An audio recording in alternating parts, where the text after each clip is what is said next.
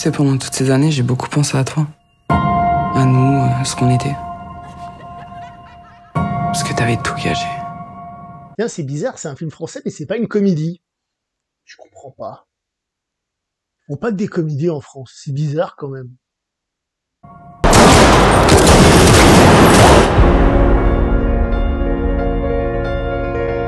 Qu'on était les mêmes, toi et moi. Ça faisait longtemps que je commençais plus une vidéo avec ce geste. Bonjour à tous et bienvenue dans cette vidéo. Aujourd'hui, on va parler de L'amour ouf, film réalisé par Gilles Lelouch. Gilles Lelouch, que l'on connaît peut-être plus en tant qu'acteur, mais qui a déjà réalisé des films et qui nous revient donc avec cet Amour ouf en 2024. Son dernier film, c'était en 2018 et il s'agissait du Grand Bain. Nous avons donc ici droit à une adaptation d'un livre écrit par un Irlandais qui s'appelle donc Neville Thompson. Alors, je vais vous lire le titre euh, en anglais, parce que même comme ça, j'arriverai pas à vous le prononcer correctement. Le livre en anglais s'appelle Jack, Jackie, enfin non Jackie, Jackie Love John Sir, ok, avec un point d'interrogation à la fin. Donc euh, la prononciation très mauvaise. Vous imaginez bien que je suis à côté de la plaque. Pour la petite histoire, John Sir, c'est donc euh, euh, Clotaire, hein. Donc justement pour ça que dans le film il se moque de son nom, de son prénom en disant c'est quoi ce prénom? Bah voilà, en, en VO c'était John Sir. Et c'est marrant d'ailleurs je ne connais pas ce livre, je ne l'ai pas lu, mais de se dire qu'il est écrit par un Irlandais et qu'on peut, je pense, imaginer qu'il se déroule en Irlande par rapport à l'image qu'on a de l'Irlande et parfois ce côté un peu violent de l'Irlande qui, qui en ressort. Évidemment, on est dans le stéréotype. Moi, personnellement, quand je suis allé en Irlande, tout s'est très bien passé, hein, j'ai pas vu de violence. Je suis resté pas assez longtemps, peut-être j'y suis resté qu'un week-end, mais voilà, pour dire que je parle évidemment du cliché. Et donc, euh, le film a d'une certaine manière l'audace de prendre cette image, on va rester sur les images, et de se l'approprier par rapport à l'image qu'on a en France de ce genre de situation. Qu'est-ce que c'est que ce film? Quand on a le titre, on se dit, euh, je sais pas trop, c'est quoi C'est une comédie romantique? L'amour ouf, l'amour fou, une comédie romantique. Mais en même temps, il y a le mot ouf dedans. Ouf qui, comme vous le savez, attention, attention, révélation pour les gens d'Internet, c'est du verlan. Donc c'est un, un parler plus... Euh, moins littéraire, plus de la rue, on va dire. Et donc c'est intéressant parce qu'il y a l'amour fou, mais avec un côté entre guillemets plus de la rue, on revient avec la violence et tout ça. Parce qu'en réalité, ce film, c'est une anti-comédie romantique, mais c'en est une quand même. Mais c'est une anti-comédie romantique. Pourquoi? Parce qu'on peut dire que c'est une romance qui euh, se situe, enfin, ou qui est liée au monde des gangsters de la violence, de leur brutalité. Et donc c'est un film qui, sur le papier, comme ça on pourrait dire de loin, oui, il nous raconte une histoire d'amour, mais il nous raconte une histoire d'amour qui est un peu différente du côté euh, cucul praline, un peu stéréotypé, encore une fois une image, mais une autre image, cette fois-ci celle d'un film, puisque, puisque le film justement va aller euh, dans un côté euh, justement violent, on va parler de, de, de, de gangsters, etc., etc. Et le film donc est un petit peu comme ça entre les deux. C'est un vrai faux film de gangster et un vrai faux film d'amour. C'est assez intéressant à ce niveau-là. Et d'ailleurs, c'est intéressant parce que le film va prendre certains acteurs pour les faire euh, jouer euh, des rôles à contre-emploi. Alors, pas totalement à contre-emploi non plus. Hein. Euh, par exemple, on a Benoît Poulvorde qui fait le chef des gangsters. Alors, globalement, on peut dire que c'est du contre-emploi par rapport à du Benoît Poulvorde, mais Benoît Poulvorde a déjà eu des rôles un peu comme ça, hein, je veux dire, des fous, enfin des, fous, des rôles qui sont différents, hein, et si je disais des fous, c'est parce que je pensais évidemment à, comment ça s'appelle déjà, ça s'est passé près de chez vous, ce film-là, vous voyez ce que je veux dire? J'hésite un peu sur les mots. Mais ce film-là, vous voyez ce que je veux dire? Donc, euh, on a déjà eu ce genre de choses. Et pourtant, il le joue très à la Benoît Poulvorde. Il ne fait pas autre chose. Donc, c'est et le Benoît Poulvorde de tous les jours, et un petit peu différent, mais c'est une différence qu'en plus il a déjà faite. Vous voyez, c'est un peu à l'image du film. C'est et ce n'est pas tout en étant. On peut aussi parler d'Alain Chabat, euh, qui a aussi un rôle euh, entre guillemets un peu similaire aussi, enfin rien à voir avec celui de Poulvord, mais je parle dans l'utilisation du personnage. Lui il fait un père euh, qui est d'ailleurs, je trouve très réussi. cela dit en passe. Le film est découpé en deux parties, une qui est l'adolescence et une qui est l'après-adolescence, on va dire comme ça. Et euh, on a les acteurs, pour les mêmes personnages, qui changent pour les rendre plus euh, âgés. Je dois avouer que euh, il s'est passé quelque chose d'assez particulier. Si quelqu'un comme François Civil ou encore Adèle Exarchopoulos sont les têtes d'affiche du film, avis personnel, là c'est un avis personnel, je trouve que leurs versions plus jeunes, j'ai pas le nom des acteurs là tout de suite, les versions plus jeunes leur volent littéralement la vedette. Ils sont super. Ils sont super.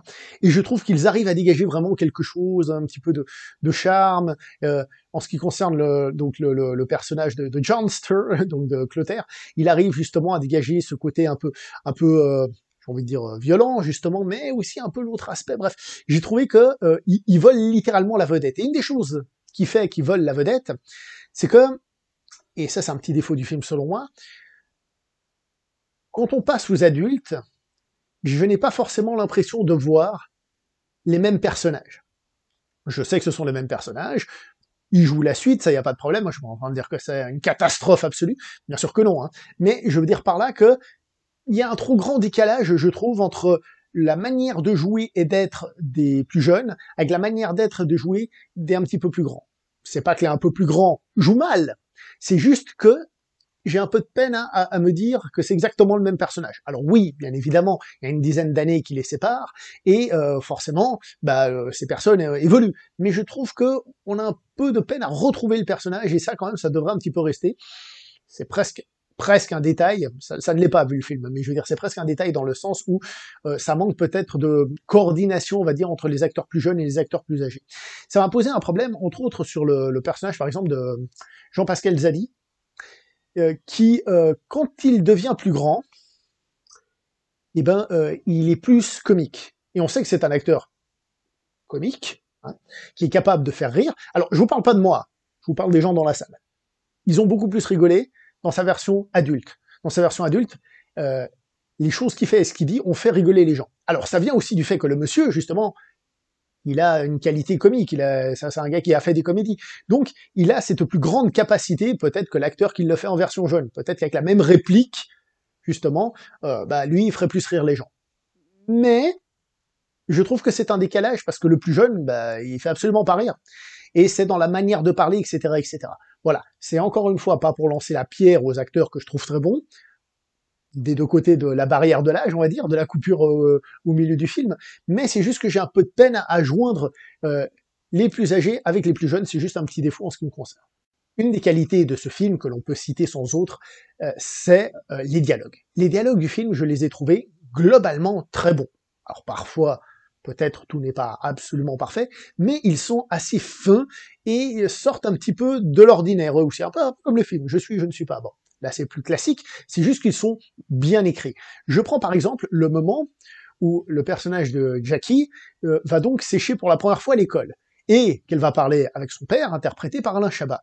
J'ai trouvé ce dialogue, on a déjà vu un milliard de fois dans les films, et peut-être aussi dans la vie réelle, hélas, parfois, euh, eh ben, j'ai trouvé qu'il était assez bien écrit pour être un peu plus subtil, un petit peu plus intéressant, un petit peu plus prenant, avoir un peu plus de charme.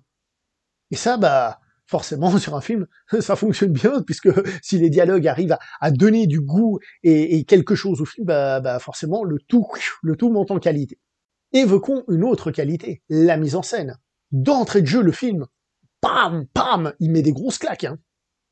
Des compositions de plans hyper léchées, hyper travaillées. Euh, c'est pas du tout une réalisation discrète. Il y a des films qui sont plus tape à l'œil, on va dire, dans leur mise en scène, et d'autres où la mise en scène est plus discrète. Ce qui ne veut pas dire qu'elle soit mauvaise. Elle est plus discrète. Voilà, vous avez compris. Euh, là, c'est pas une réalisation discrète. Elle est tape à l'œil. Mais faut dire ce qui est. C'est magnifique. Alors, le film étant assez long, on peut peut-être trouver ça un petit peu éprouvant sur le long terme. Mais ce qui est intéressant, c'est que bah, c'est pas toujours aussi euh, aussi poussé, aussi tape à l'œil. Parfois, c'est juste le traitement de l'image. Quand ils sont plus jeunes, justement, on a une image qui essaye d'avoir une teinte, euh, justement, euh, censé se passer dans, dans, les années 80. Bon, il y a 10 ans au milieu, donc euh, voilà, à peu près 10 ans. Mais euh, pour donner justement un côté un peu un peu rétro à la chose et tout ça. Donc le film est très travaillé sur son visuel. Jules Lelouch, en tant que réalisateur, travaille énormément l'aspect visuel de son film. Et déjà pour un film français, par rapport à ou tout venant que je stéréotypais au début, euh, eh ben c'est vraiment une recherche esthétique très intéressante et très poussée. Mais en plus, le film en sort grandi parce que bah parce qu'il est juste bien foutu. Au tout début, par exemple, on a juste ce plan du parking, euh, vous savez, où les voitures sortent en, en, bah, en tournant en rond hein, pour monter. Et ben on a ce plan où on voit les différentes euh, routes Et c'est magnifique. C'est tout simple. Après, il y a des choses que j'ai trouvé un petit peu moins rendement réussies. Par exemple, euh, bah, par exemple, dans cette scène du début, on retrouve, vous savez, cette esthétique que beaucoup de films font en ce moment, où on a de, l'orange et du bleu comme ça qui viennent se mélanger. Alors, pourquoi est-ce que cette esthétique me dérange? Ce n'est pas qu'elle soit dégueulasse, c'est juste que c'est le genre de truc qu'on voit dans tous les films, y compris ceux qui ont aucune idée. Donc ça devient un peu un stéréotype en mode allez, on va faire ça, c'est stylé. Mais vu que la mise en scène est bonne, eh ben visuellement c'est beau parce que le film est travaillé au niveau de, l'aspect visuel, etc., etc. Donc oui, le film a une mise en scène que j'ai trouvée prenante, intéressante. Et je vais même aller plus loin, parce que je vous ai déjà parlé des dialogues, je vous ai déjà parlé de la mise en scène. Le film est long. Je crois qu'il fait quelque chose comme deux heures et demie, un peu plus, je, ne sais même pas. Et si je vous dis je sais même pas, c'est parce que je ne me suis pas ennuyé une seconde en regardant ce film. Alors je m'étais préparé à que ce soit pas le film le plus court, et j'ai laissé traîner l'oreille à la sortie de la salle. Certains ont dit que c'était un peu long. Je le conçois. Mais je trouve que l'histoire qu'il raconte, avec tous ces trucs intéressants un petit peu partout, font que, eh ben, je trouve le film intéressant très intéressant et très réussi à ce niveau-là.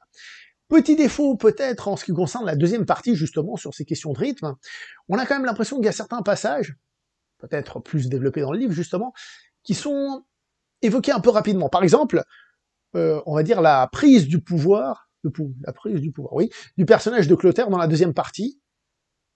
On a le début, et après c'est un petit peu bazardé, un peu rapide, ouais, bon, voilà, ils font ça.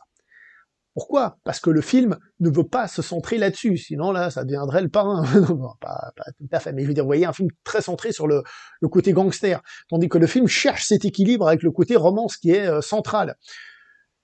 Mais c'est vrai que là, par exemple, ça manque un peu de développement, mais en même temps, le film est long. Et en même temps, il développe les choses importantes. Donc, si c'est moins développé, c'est aussi parce que on n'a pas envie à nouveau de se recentrer trop là-dessus. Mais c'est quand même dans le film. Avec tous ces aspects de mise en scène, de dialogue, les acteurs que je vous ai dit très bons malgré le décalage, etc. Euh, ce que je trouve intéressant, c'est que ce scénario, enfin ce scénario, cette histoire, elle aurait pu être racontée totalement dans un film ultra banal, un film limite euh, téléfilm, qu'il aurait pu être fait avec des dialogues euh, classiques, etc., etc. Sont classiques, mais je veux dire sont bien écrits, avec une mise en scène passe-partout, et le film aurait été digne d'un téléfilm. Mais parce qu'il y a une ambition, ne serait-ce que l'ambition visuelle de proposer quelque chose, de faire quelque chose de léché, avec des bons acteurs, avec euh, des bons dialogues, etc., etc., et même la, la, bande originale, hein, qui est très présente dans le film et qui, euh, qui englobe tout ça, eh ben, on passe d'un petit film de rien du tout à un film où tu dis ah ouais, vraiment pas mal, vraiment intéressant. Alors, en ce qui me concerne, l'histoire en elle-même, là on est plus dans le subjectif, l'histoire en elle-même, c'est pas ce qui me parle le plus et c'est pas ce qui va le plus me toucher spécialement par rapport à ce qui se passe, parce que c'est moins mon truc. Mais deux heures et quelques, je me suis pas fait chier, j'ai adoré, j'étais dedans, j'ai trouvé ça super bien. Et ça, c'est la force du cinéma. Pour ceux qui disent que le cinéma, ce sont du scénario, non, le cinéma, c'est tout ce qui est autour, comment on a fait, pourquoi on a fait le film, les acteurs qu'on a choisis, pourquoi ils ont été choisis, comment ils ont abordé les rôles, etc. Donc, oui, euh, l'amour ouf, c'est un film, attention, jeu de mots de folie, bah il est ouf. J'allais dire, c'est un attention jeu de mots ouf. déjà que tu vas t'enterrer tout seul, là tu vas creuser très profondément. Voilà. J'espère que vous avez apprécié cette petite vidéo. Si vous n'avez pas encore vu le film, euh, allez le voir. La salle était remplie les gens ont l'air d'avoir beaucoup aimé. Mais surtout, n'oubliez pas the like, euh, the partage, the partage, c'est important. Et the, abonnement, c'est c'est very, very uh, important. Voilà. Et pourquoi est-ce que je dis ça comme ça? Je sais pas, je viens de l'improviser. C'est la vie. Allez, ciao tout le monde.